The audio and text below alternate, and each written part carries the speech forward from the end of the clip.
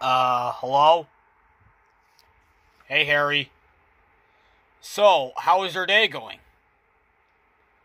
Okay. The reason why I called you is because I wanted to give you some news about the animatronics because of the incident. You tell me.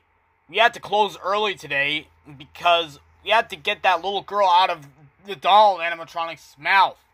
The doctor said the doll animatronic took a chunk uh, of her brain. The employees tried to get her out of the stage, but I guess she will listen next time. um, oh yeah. So the animatronics got this new thing called free roaming mode. So they can call the cops if there is a burglar that's like trying to steal stuff. But they can tell if a burglar is a human from a burglar suit. But if they see an employee in an employee suit, they think it's an animatronic without its animatronic costume on.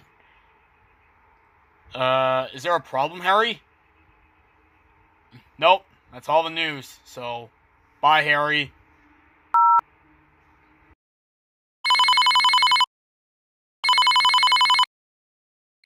Uh, hello?